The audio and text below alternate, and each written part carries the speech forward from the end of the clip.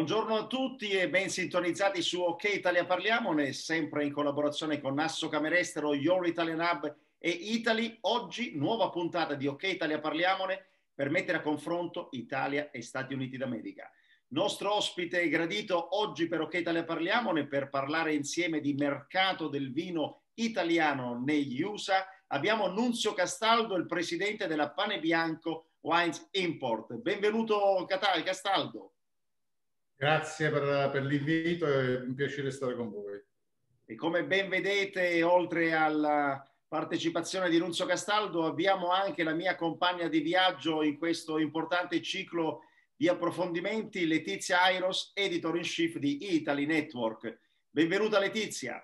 Un saluto a tutti da New York. Oggi, oggi per fortuna c'è il sole, ha smesso di nevicare e adesso entriamo nel meraviglioso mondo del vino negli Stati Uniti d'America, vino italiano naturalmente. Eh beh, ci mancherebbe altro, Letizia, dobbiamo promuovere il nostro bel paese e iniziamo proprio raccontando prima chi è il nostro ospite di oggi, in modo che i nostri ascoltatori possano ben sapere chi hanno di fronte. Bene, Nunzio Castaldo possiamo definirlo un attivo promotore della crescita e della promozione proprio del vino italiano negli Stati Uniti, perché fa questo da oltre 34 anni. Perché 34 anni? Perché nel 1986 eh, viene assunto dalla Weinbov e inizia la sua carriera come agente commerciale che viene assegnato ai ristoranti italiani nel quartiere di Manhattan a New York. Nel 1994, quindi dopo otto anni, Nunzio dà vita alla prima divisione commerciale italiana di Weinbov a New York, quindi un traguardo veramente importante. Passano 31 anni di collaborazione con questo importante gruppo e nel novembre del 2017 decide di lasciare The Weinbob Group per mettersi in proprio, decide di seguire un sogno, di realizzare un progetto indipendente, l'acquisizione della Pane Bianco Wines Import, che è una compagnia importatrice e distributrice di vino italiano sull'intero mercato statunitense che aveva già, cioè, anzi che aveva, che oggi ha ben oltre 25 anni di attività alle spalle. Quindi abbiamo un pochino raccontato chi è il nostro ospite, ma un, un'ultima cosa che vorrei dire di Nunzio Castaldo, che è un napoletano doc, un napoletano verace, si laurea in una splendida cornice che è quella della facoltà di economia e commercio in via Partenope a Napoli, nello splendido waterfront, come viene oggi definito perché è stato recuperato e restituito ai cittadini e attualmente vive, anzi attualmente vive, ma da tantissimo tempo a New York dove eh, è lì stabile anche con moglie e due bambini. Bene, eh, una prima domanda per cercare sempre di sciogliere il ghiaccio, Nunzio, ma quando ti è venuta l'idea negli anni Ottanta di trasferirti a New York? Immagino che eri fresco di, di laurea, come mai il, il desiderio di inseguire questo sogno, di sfidare nuovi mercati e perché il vino? Beh, ehm, innanzitutto devo dire che eh, la motivazione st- sono state due. Uh, la prima uh, per un libro che ho letto e che mi hanno regalato eh, e che lessi quando, aveva, quando avevo 22 anni, 21-22 anni, in un'estate calda come sono le, le estati a Napoli e questo libro era Ehm, scritto in inglese, quindi ho, ho, prestato molta attenzione perché allora non parlavo così correntemente come lo facevo adesso, e, e si chiama uh, On the Road di Jack Kerouac. E lì mi ha fatto aprire una, una finestra immensa su questo continente. La seconda invece è stata un po' più articolata perché eh, la mia famiglia a Napoli, in Campania, ma adesso anche in Italia, è una famiglia di imprenditori e, e fui spinto da mio padre. Mm, mi disse adesso tu devi andare all'estero, raccogliere tutto quello che puoi raccogliere e portarlo a casa perché farai parte di questa grande scalata che infatti è, è avvenuta non con me ma con mio fratello dalla loro azienda di famiglia.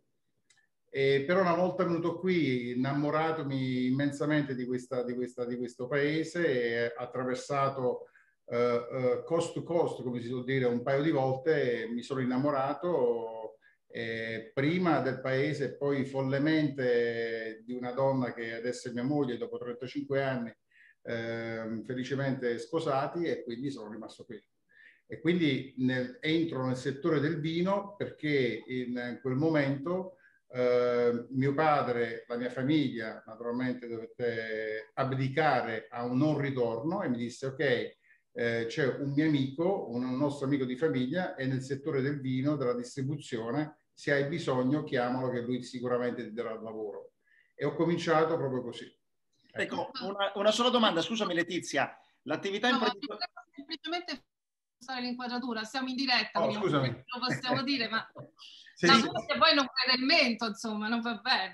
No, no, una, Scusate, una... ma una cosa importante, di... Nunzio, ma l'attività imprenditoriale di famiglia, per spiegarlo anche ai nostri ascoltatori, vi occupavate sempre di ristorazione, food and beverage? No, no, no, sì, indirettamente sì, perché di alimentari. Eh, la mia famiglia nasce prima come esercenti commerciali, quindi negozi, poi una branca si è, si è, si è specializzata nella, nella distribuzione, infatti la mia famiglia fu quella che insieme alla, alla, alla famiglia Rosi eh, ideò Parmacotto eh, e poi una branca, quella diciamo interessata a mio padre praticamente eh, alla produzione propria. Adesso noi abbiamo tre opifici, uh, due in Campania e uno fuori Campania, eh, dove si producono milioni e milioni e milioni di buste sottovuoto per la grande distribuzione, sia per eh, il settore nazionale che per eh, la GDO europea. Insomma. Avrete capito che noi diciamo, in questa intervista uh, parleremo oltre che di pandemia, perché diciamo, lo dobbiamo fare in questo momento assolutamente, uh, accarezzeremo un lungo periodo di storia imprenditoriale italiana, soprattutto legata al vino e non solo. 35 anni fa, che cos'era il vino italiano negli Stati Uniti? Beh, è una bellissima domanda perché io uh, entro nel mondo del vino nell'anno più sfigato eh, della, diciamo, della storia della distribuzione dei vini italiani in America perché era l'anno del metanolo. E ah. quindi entrare in, una, in una, un negozio un, o in un ristorante per parlare di vini italiani quando c'erano le testate sul New York Times che eh, invitavano a non comprare vini italiani, voi immaginate che tipo di esordio c'è stato però era anche l'anno, erano gli anni del grande Made in Italy del fashion e quindi showrooms, eh, viaggi in Italia da parte degli, dai buyers americani, soprattutto a Milano, Firenze, eh, invitavano proprio a, a, a bere e a, e a, mangiare in un modo diverso da quello che era invece prima da allora, insomma. E quindi io ho fatto leva proprio su, quella, su quel filone lì e, e mi ricordo che spesso, eh, prima di entrare in una, un ristorante abbastanza famoso, eh, cercavo sempre la connessione o la connezione del, diciamo, della, eh, di chi era nel settore del fashion. E quindi ho conosciuto contemporaneamente un po' tutte e due le fasce commerciali, insomma, proprio per questo motivo. Poi il discorso della, del metanolo eh, è svanito e, e, lì si è vista la classe del vino italiano che ha dovuto poi combattere per tanti anni diffidenze, però mh, ce l'abbiamo fatta insomma. Diffidenze, quali diffidenze? È difficile dirlo per chi sta in Italia, noi qui lo sappiamo, insomma. Ma diffidenze, sì, no, diffidenze perché alla fine è il vino che si beveva e che si consumava e che si acquistava eh, alla fine degli anni 70 era un vino abbastanza generico, un vino che eh, era più, permettetemi di dire, fatto in cantina che in vigna. E quindi su base dolci perché naturalmente il Lambrusco o Riunite, io adesso non vorrei fare nomi, però diciamo era quella la tendenza insomma di jug wines, cioè vini eh, prodotti in tre litri, un litro e mezzo, ma meno valorizzazione a quello che invece era eh, l'impegno di, un, di, una famiglia, di generazioni, di eh, cioè winemakers eh, che invece in questo momento fanno tutto un altro lavoro. Insomma. Quindi ci sarà stato un momento di cambiamento, un momento importante per il vino italiano, non so se lo puoi ricordare. Sì, sì, sì, c'è stato perché io credo che, io spesso chi mi chiede la stessa domanda, io credo che la più grande rivoluzione che abbiamo assistito fine, alla fine del, del, secolo scorso è stata quello, quella culinaria. Eh, cioè, fino a qualche anno fa era inimmaginabile eh, trovare la mozzarella di bufala addirittura se la vuoi di pestum oppure quella casertana oppure la burrata pugliese. Eh, non esisteva il tiramisù, non esisteva il, il piatto del carpaccio di manzo, eh, il radicchio trevigiano era un miraggio, insomma tutte queste cose hanno confluito e aiutato naturalmente ad adattare i vari, varie, diciamo, i vari palati no? che avevano voglia proprio di, di, cose nuove, non più di bistecche, patate, e hamburgers e, e, e, cose del genere. Insomma. Poi un grande impulso sta, eh, l'ha avuto anche attraverso ehm, lo spostamento delle persone che andavano in Italia a, a, a conoscere questo nostro bel paese. Insomma. Ecco, Nunzio, parliamo proprio di conoscenza del nostro ben paese. Tu ci hai raccontato le difficoltà dei primi anni perché hai debuttato ecco, sulla scena del, del, vino italiano negli Stati Uniti nella piena crisi, possiamo dire forse gli anni più bui della nostra tradizione vitivinicola. Ma oggi quanto è importante raccontare la storia del vino, la storia dei produttori? Ecco, quant- che ruolo ha lo storytelling per cercare di far capire realmente la passione, la storia, le tradizioni, la cultura che c'è dietro una bottiglia di vino che arriva a tavola?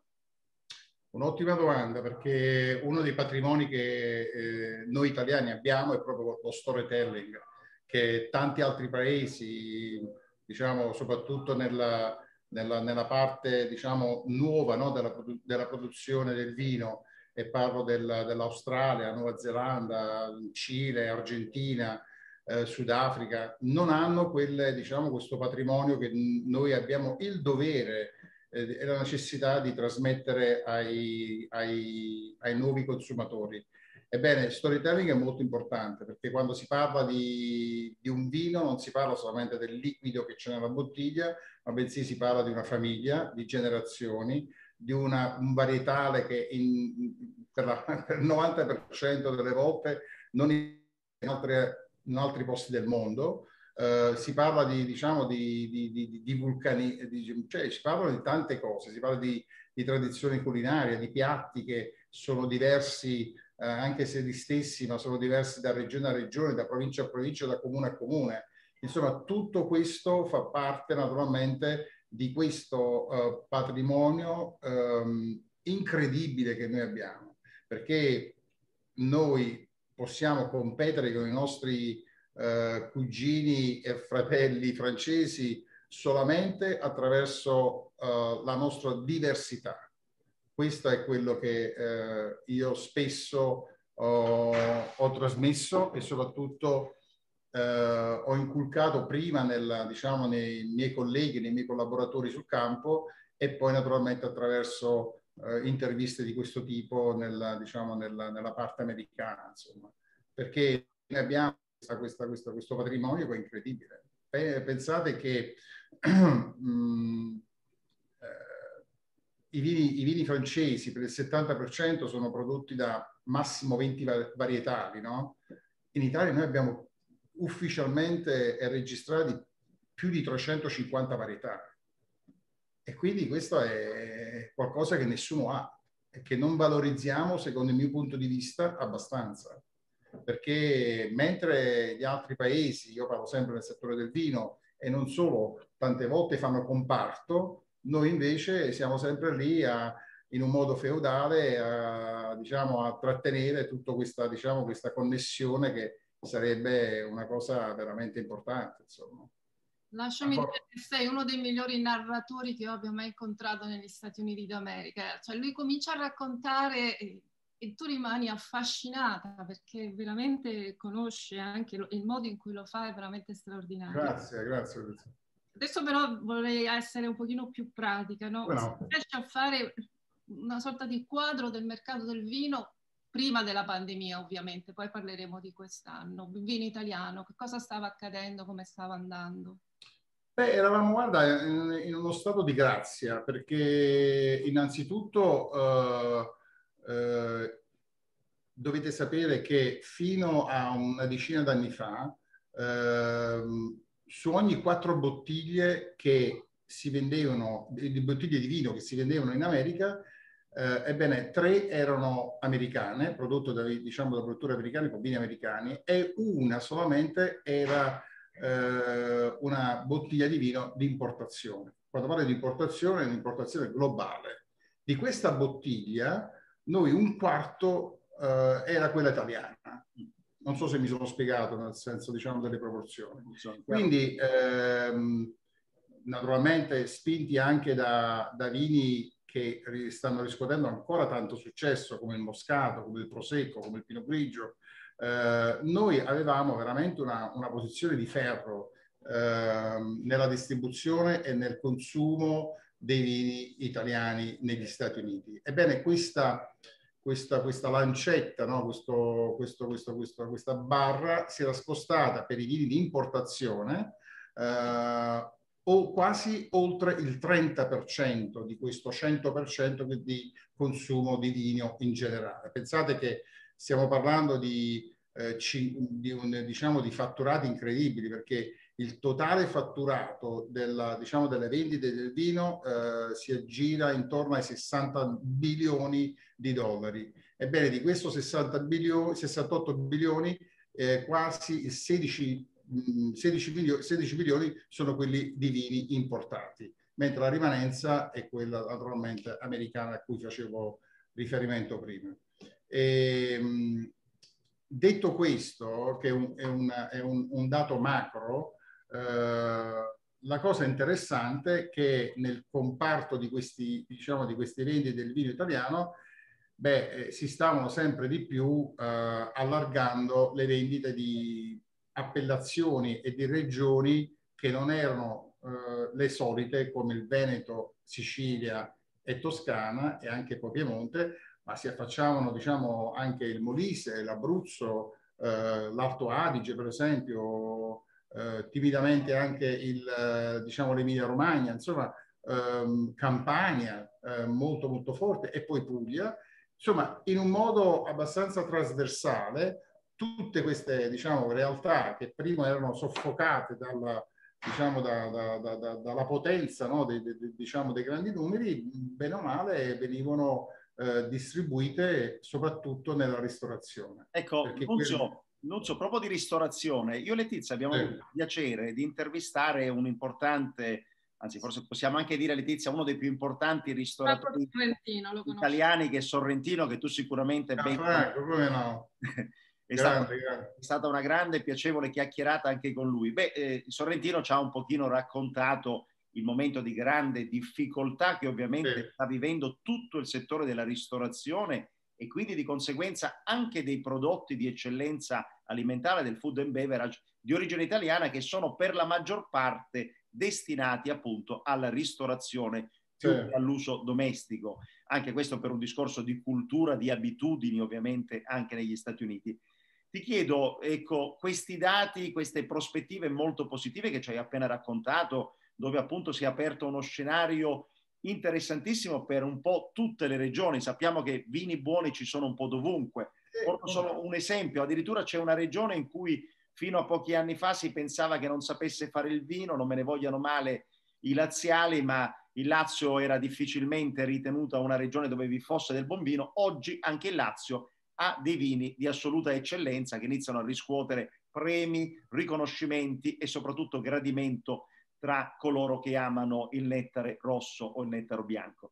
Bene, a questo punto la pandemia quanto ha inciso nel bloccare questo trend positivo di crescita e come sarà il mercato subito dopo? Posso aggiungere una cosa così, una risposta unica, se c'è stato anche un cambiamento di abitudini comportamentali dei clienti, magari hanno ordinato più online non potendo andare al ristorante. Assolutamente, poi, assolutamente. Di mercato, cioè quali sono i vini, quelli di medio prezzo, quali sono quelli che insomma vengono venduti di più negli Stati Uniti? Beh, se, mi, se, se, mi permettete voglio partire un po' più da dietro, così si ha un quadro un po' più, diciamo, ampio della, della risposta che vi sto per dare. Innanzitutto il dato più importante è che eh, rispetto ai giorni di quando io portavo la borsa mh, diciamo di vino tra le strade di New York, ora siamo arrivati a un consumo pro capite eh, naturalmente dalla popolazione oltre i 21 anni, perché qui è, l'età eh, diciamo base, eh, di 11 litri di vino pro capite, che è un, un, successo incredibile perché ricordo che tanti anni fa era veramente un, meno del 6-7 litri di vino, un vino che certamente non aveva le qualità organolettiche di, questo, di, questo, di questi oggi. Quindi questo è già un, un, vino abbastanza, un dato abbastanza importante. Teniamo presente che il 49% delle, eh, eh dei, eh, diciamo del, della fascia dei millennials, che questa è una cosa importante per noi operatori, perché questo è un patrimonio che dobbiamo curare per tanti anni, perché sono i nostri clienti, adesso beve per il 49%, cosa che non poteva mai esistere prima eh, diciamo, di questa, di questa fascia generazionale. Eh, di questo 49%, il 54% è un consumatore donna e il 44% uomini. E questa è una cosa importante da sottolineare perché eh, la, la, la, donna in certi sensi è molto più loyal, più fedele diciamo al consumo e quant'altro ehm, e soprattutto alle marche e, e, e, di conseguenza anche ai varietali. Ora vengo alla risposta. Eh, mi scuso se ho fatto un po' una, una parentesi. Era interessante, diciamo, era eh, molto interessante. A, a, parte il fatto che sono sicuro che anche il mio carissimo amico Gianfranco, un altro napoletano doc, una persona che si è distinta in un modo egregio nel suo settore e continua a farlo con, tutte, con, tutte, con mille difficoltà, avrà già risposto esaurientemente. Però um, il, il, la pandemia, secondo il mio punto di vista, è stato un acceleratore, non è stato una causa, un acceleratore su alcuni organi di diffusione e di distribuzione del vino italiano. E voglio spiegarmi meglio. Um, io ho una figlia e un figlio uh, che vivono da soli, naturalmente già indipendentemente da tanti anni, hanno un papà che con un po' di destrezza li, li poteva, cioè poteva fornirgli del vino, loro no, preferiscono comprare tutto online per un, modo, per un, per un metodo di, di, di, di, praticità. Quindi, mentre sono in ufficio o erano in ufficio, loro entravano in un sito, diciamo, di una piattaforma di distribuzione di e-commerce online e dico, guarda, stasera io mangio cinese, quindi ho, ho voglia di un Riesling si mettono l'accoppiata del Riesling che vogliono, spend- cioè che, che vogliono eh, avere e con il, il, costo praticamente che vogliono investire e mentre loro fanno il tragitto dall'ufficio a casa il vino è già sotto in portineria. Ecco, questo è, un, eh, è stato diciamo praticamente ehm, un vantaggio per la diffusione e la distribuzione e diciamo, l'acquisto del vino in generale, non dico italiano, ehm, per questa fascia di consumatori che ha certamente più mezzi e più, str eh, più strumenti per, per, per, avvicinarsi a questo, a questo prodotto. Quindi eh, il discorso comportamentale nella fase della pandemia è, è veramente, veramente importante. Perché eh, ora noi stiamo a casa, una casa che prima consideravamo residenza, adesso la nostra casa è diventato Starbucks quando vogliamo l'espresso, è diventato il nostro meeting room quando abbiamo bisogno di fare un meeting con un cliente o con chi altro, è diventato la nostra sala cinema quando ci mettiamo davanti alla televisione a vedere diciamo, eh, i film su Netflix, è diventato veramente in un modo abbastanza anche, um, anche molto um, drammatico, no? diciamo, veramente il, lo chiamiamo il cocoon, no? diciamo la, la, la, la, tana diciamo, di tutte queste cose, insomma. E quindi anche per il vino, e poi finisco, anche per il vino, il consumo del vino, purtroppo eh, c'è una un'abitudine che purtroppo non possono in questo momento modificare, bere casomai allo stesso orario, eh, allo stesso posto e con la stessa persona, mentre invece quella convivialità che c'era prima nella ristorazione ce n'è bisogno, insomma, perché altrimenti mh, è un discorso umano più che diciamo commerciale. E il vino italiano come se la sta cavando? Proprio? Il vino italiano, ecco, questa è una bellissima domanda, perché il vino italiano se la sta, se la sta cavando, io credo molto bene. Molto bene, io sono, vabbè, io per natura sono sempre ottimista, io eh, sono nato sempre, diciamo, fortunatamente guardando il mare, quindi tu non sai mai quello che succede alla fine di quella, del, diciamo, della, del, tuo, diciamo, del tuo obiettivo, no? E, e, quindi io sono sempre stato prepositivo anche durante la fase più acuta della pandemia. Il vino italiano secondo me se la sta cavando bene perché eh, fortunatamente noi possiamo attraverso siti o attraverso informazioni che adesso sono molto più veloci e più semplici da ottenere, ehm, possiamo ancora dire tanto, diciamo, della, diciamo, della, della, della, della meccanica del bene e della gustazione. La nostra non è, diciamo, la nostra offerta non è eh, limitata nella somministrazione di un liquido, ma bensì è un'esperienza, un'esperienza. Il viaggio in Italia manca a tutti, il poter andare eh, dalla, dal panettiere che ti vende, che ti posso dire, il, la fettina di tiramisù piuttosto che dal ristorante italiano che con il cameriere che ha l'accento, piuttosto che il design diciamo che tu hai nello stare nell'habitat italiano, manca. Proprio, mh, veramente è una forma di astinenza eh, in alcuni casi. Quindi... Siamo, siamo, purtroppo veramente pochissimi minuti di chiusura, però un'ultima ah, domanda flash te la voglio fare. Eh, in che modo secondo te lo Stato italiano, il governo, dovrebbe aiutare i nostri produttori per far sì che il vino italiano raggiunga sempre di più il mercato statunitense? Eh, questa è una, domanda un po' articolata. Comunque io credo che innanzitutto eh, ci dovrebbe essere una cabina, una cabina di regia importante. Una cabina di regia che non deve essere solamente reattiva, ma soprattutto di grande impostazione strategica. Eh, ripeto ancora una volta, noi siamo molto bravi nel, diciamo, nell'isolarci e fare il nostro lavoro indipendente. Eh, altrimenti non avremmo avuto grandi e geni della nostra storia e non solamente nel settore del vino, ma in tutti i settori come voi ben sapete. Eh, però oggi, come non mai, c'è bisogno di una grande agglomerizzazione. E, ehm, e secondo il mio punto di vista dovrebbero esserci dei, um, delle, diciamo delle, delle, dei, un sistema quasi satellitare, però che deve fare capo a una cabina di regia importante. Eh, I fondi sono necessari, ma non sono tutto. La comunicazione è quella che invece, per il mio punto di vista, è essenziale.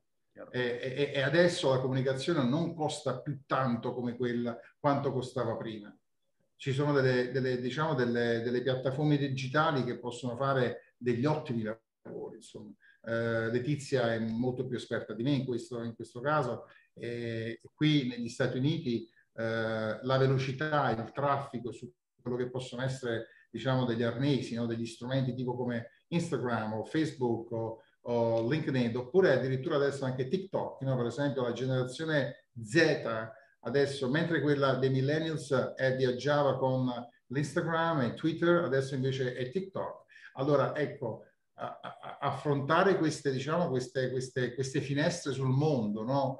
dei consumatori è importante. Non possiamo mettere, dobbiamo avere la, il coraggio di far entrare anche in quelle strutture amministrative, politiche un po' obsolete, persone che lavorano mh, e, e, pensano nello stesso modo che dobbiamo educare i, i, nuovi consumatori. Insomma. La Cina, per esempio, è mille anni luce su questa cosa ed è una, una, una, un paese ingessato, come tu ben sai. Insomma. Quindi ritorniamo allo storytelling. Il nostro paese ha un enorme patrimonio di racconti e, e, dobbiamo essere in grado diciamo, di farli nel modo giusto e farli arrivare. No, io racconto solo a volo una piccola cosa, un'amica americana che mi, mi, è venuta a trovare a casa mi ha portato un vino italiano, ma prima di comprare questo vino italiano, un normale Barolo per noi, lei si è andata a studiare tutta quanta, la sapeva di tutto e di più sul Barolo prima di, di regalarmelo. Ecco, questa è la grande curiosità che c'è in questo paese e questa è la nostra grande ricchezza. Sono pienamente d'accordo con te. Io, io secondo me avrò fatto almeno una ventina di Zoom meetings mentre c'erano delle tavole eh, con ehm, persone che cenavano, pranzavano e bevevano e io spiegavo il vino. C'è proprio necessità di, questa, di queste cose qui, insomma. Quindi Uh, sì, storytelling è un nome un po' abusato, però bisogna avere una, un, una un, bisogna fare comparto, non c'è niente da fare.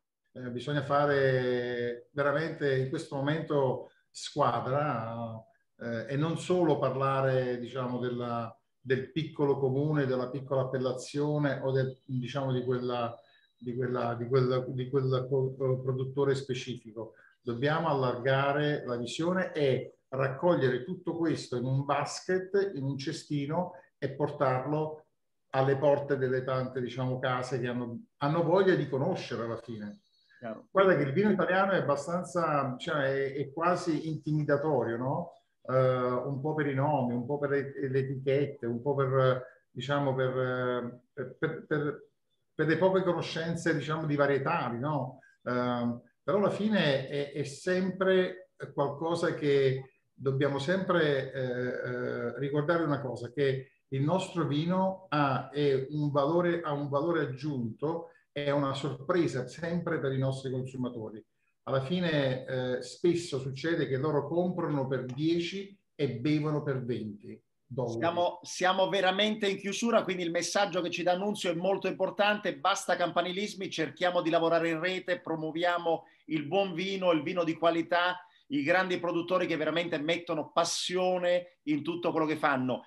Passione che anche io e Letizia Annunzio stiamo mettendo appunto in questo ciclo di interviste per cercare di comunicare le eccellenze del nostro Made in Italy anche negli Stati Uniti d'America.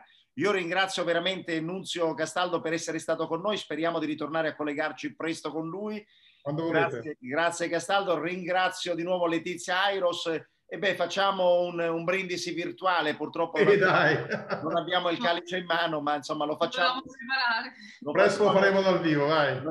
virtualmente, anche con tutti i nostri ascoltatori. Arrivederci a tutti al prossimo appuntamento di approfondimento con Ok Italia Parliamone e Italy. Arrivederci grazie a tutti. Grazie. Grazie. Grazie.